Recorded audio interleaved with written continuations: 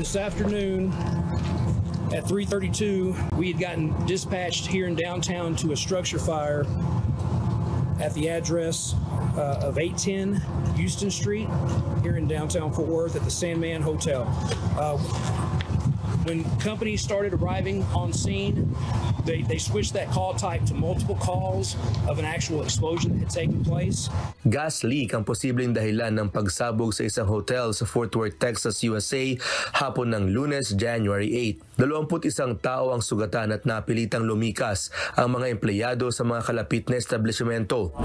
Batay sa Fort Worth Fire Department, isa ang nagtamo ng matinding pinsala sa katawan at apat naman ang seryoso ang kalagayan. Hindi tukoy kung ilan sa mga nasugatan ang guest sa hotel o pedestrians. Labing apat na tao ang dinala sa area hospitals. Dagdag pa dito kasama rin sa mga nasagip na mga bumbero ang mga taong na-trap sa basement at isang secondary search ang isinagawa sa hotel.